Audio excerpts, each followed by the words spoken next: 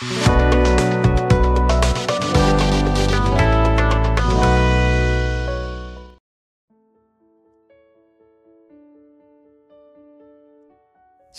selamat pagi.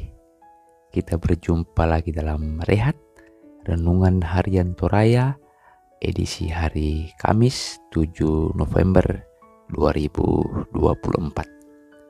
Bapak Ibu kekasih Tuhan, kita akan mulai kegiatan kita di hari ini, tapi mari kita mendasarinya dengan membaca dan mendengarkan firman Tuhan.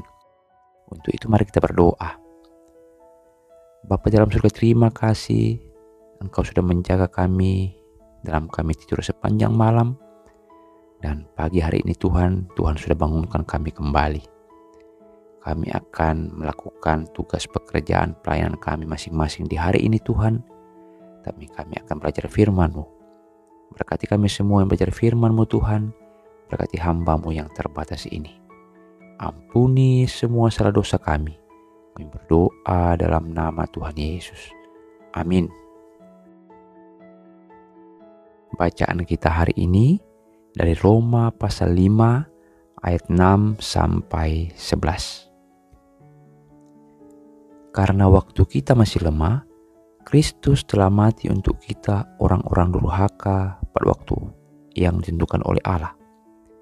Sebab tidak mudah seorang mau mati untuk orang yang benar, tapi mungkin untuk orang yang baik ada orang yang berani mati. Akan tetapi Allah menunjukkan kasihnya kepada kita oleh karena Kristus telah mati untuk kita ketika kita masih berdosa. Lebih-lebih karena kita sekarang telah dibenarkan oleh darahnya, kita pasti akan diselamatkan dari murka Allah. Sebab jikalau kita ketika masih seteru diperdamaikan dengan Allah oleh kematian anaknya, lebih-lebih kita yang sekarang telah diperdamaikan pasti akan diselamatkan oleh hidupnya. Dan bukan hanya itu saja, kita malah bermegah dalam Allah oleh Yesus Kristus, Tuhan kita, sebab oleh Dia kita telah menerima pendamaian itu. Amin.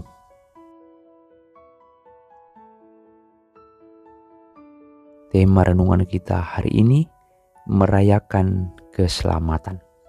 Merayakan keselamatan.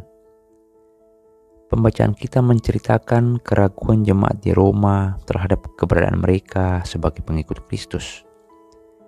Mereka mempertanyakan apakah sudah tepat beriman kepada Yesus. Hal itu dapat dimaklumi karena menurut orang Yahudi, keselamatan hanya diperoleh dengan cara melakukan kebenaran tanpa melanggar hukum Musa. Lalu, bagaimana harus menyikapi hal tersebut?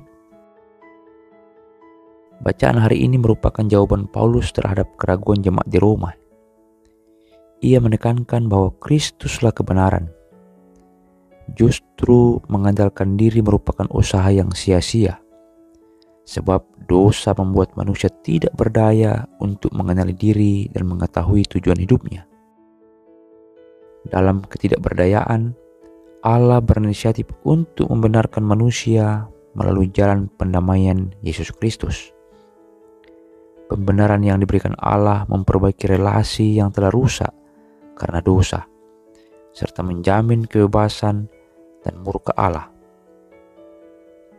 Melalui karyanya, manusia disadarkan bahwa tujuan hidup bukan lagi untuk mencari keselamatan, melainkan untuk merayakan keselamatan. Sebagai kelompok agama minoritas di Indonesia, kita mungkin pernah mengalami ejekan karena ajaran kekristenan Mungkin salib Kristus pernah menjadi sasaran hinaan oknum-oknum beragama yang lain. Sebagaimana kata Paulus, jangan pernah goyah dengan keyakinan kepada Yesus dan karyanya. Peganglah teguh keselamatan yang telah ia anugerahkan kepada kita. Tetapi, kita juga tidak perlu membalas mereka dengan hinaan atau perdebatan. Sebab tujuan kita bukan lagi untuk menyerahkan diri, tetapi merayakan keselamatan di dalam Yesus Kristus. Laku hidup yang berkenan kepadanya merupakan cara untuk menepis keraguan dan hinaan dan merayakan anugerah keselamatan. Amin. Mari kita berdoa. Terima kasih Tuhan, Engkau memperdengarkan kembali firman-Mu kepada kami di pagi hari ini. Firman-Mu hari ini Tuhan menegaskan, menguatkan kami bahwa beriman kepadamu adalah hal yang tidak pernah sia-sia. Ajar kami untuk memegang iman kami dan merayakan keselamatan kami Tuhan. Ampuni hambamu Tuhan jika ada motivasi hambamu hari ini melayani yang tidak seturut dengan kehendak Tuhan. Bapa dalam surga, kami membawa segala pergumulan hidup kami hari ini ke dalam tangan kasih-Mu. Kami yang bekerja, bersekolah, Kau berkati kami, agar kami boleh melakukannya semua dengan penuh tanggung jawab. Anak-anak muda kami yang mencari pekerjaan, mencari pasangan hidup, Engkau berkati Tuhan. Orang tua kami lanjut usia, dalam kelemahan tubuh mereka Tuhan Engkau kuatkan iman percaya mereka. Pelayan-pelayan Tuhan, ibu pendeta keluarga, penatua diaken, guru-guru sekolah minggu, Pengurus OIG Tuhan, Engkau berkati mereka dalam pekerjaan, pelayanan, dan keluarga mereka masing-masing. Yang sakit boleh Engkau sembuhkan, yang berduka boleh Engkau hiburkan. Pemerintah kami Tuhan Engkau berkati. Ampuni semua salah dosa kami Tuhan. Kami berdoa dalam nama Tuhan Yesus. Amin. Tuhan memberkati kita semua. Shalom.